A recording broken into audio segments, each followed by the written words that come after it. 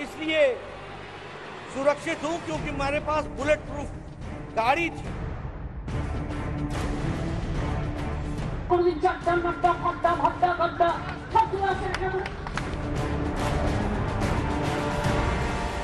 ये गुंडा राज जो हमने देखने को मिला है इसको नस्तो नाबूद करना है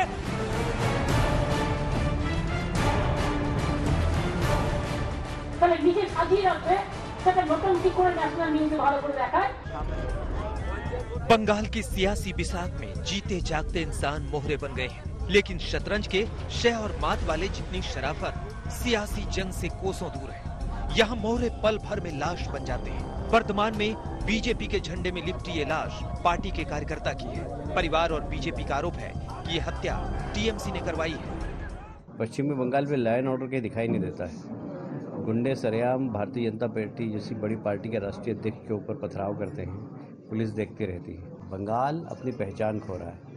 टीएमसी की गुंडागिर्दी के कारण, टीएमसी की हिंसा की राजनीति के कारण। ये पूरा झूठ है। वो जो मर गया, वो तालाब में डूब के मरा। इसमें तृणमूल का कोई लेना देना नहीं है। वहाँ पर जो तृणमूल का दीवाल था, पहले से, वो दीवाल पर उन्होंने अपना पार्टी का सिंबल लिख दिया। हमारा एक तो ऑफ़िस में तला लगा दिया। तो ऐसा करेगा तो झूठ झमेला तो बढ़ेगा जिस वर्तमान में ये हत्या हुई, वहीं पर बीजेपी और टीएमसी की खुली भिड़ंत भी कैमरे में कैद हुई। शहर की दीवारों पर अपने अपने चुनाव चिन्ह बनाने की होड़ में दोनों तरफ़ के कार्यकर्ता भीड़ पड़े। बीजेपी के कमल निशान पर कई जगहों पर स्याही पुती मिली। आरोप है कि ये कारगुजारी भी टीएमसी की है।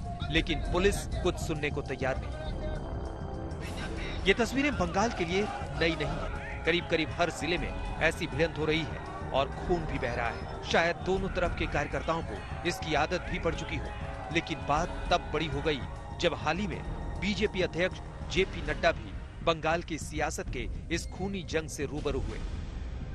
बुलेट प्रूफ कार के चलते नड्डा तो इस हमले में बाल बाल बच गए थे, लेकिन कैलाश विजय वर्गीय को टीएमसी के पत्थर झेलने पड़ गए। ये उसी हमले का नतीजा है कि विजय वर्गीय को भी अब जेड प्लस सुरक्षा दे दी गई है, जिसके तहत उनके काफिले में भी अब बुलेट प्रूफ कार शामिल हो गई है। निर्धारित कार्यक्रम होने के बाद भी पुलिस को व्यवस्था करना चाहिए। पुलिस ने बिल्कुल व्यवस्था नहीं की। और मैं समझता हूँ कि बंगाल अपनी पहचान खो रहा है। टीएमसी की गुंडागिर्दी के कारण, टीएमसी की हिंसा की राजनीति के कारण।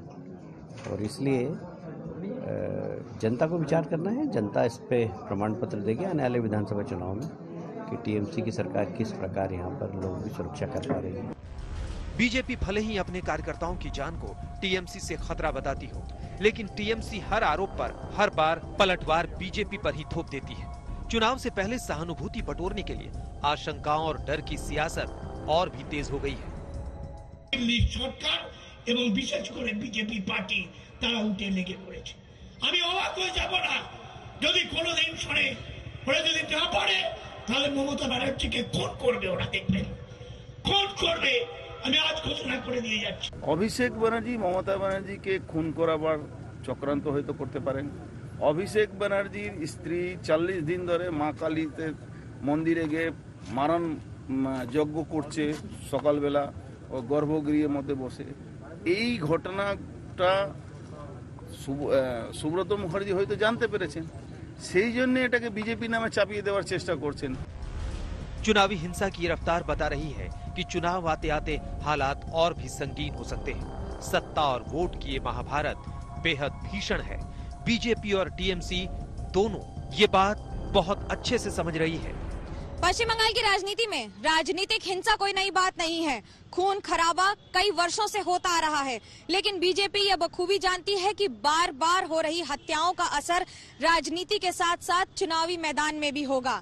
जितने कार्यकर्ताओं की मौत हो रही है, उनका हिसाब भी रखा जा रहा है और हिसाब लेने का प्रयास भी किया जा रहा है।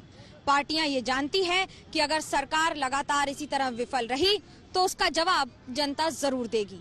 कैमरा पर्सन तापस बैरी के साथ मनोज्ञा लोईवाल कोलकाता आज तक।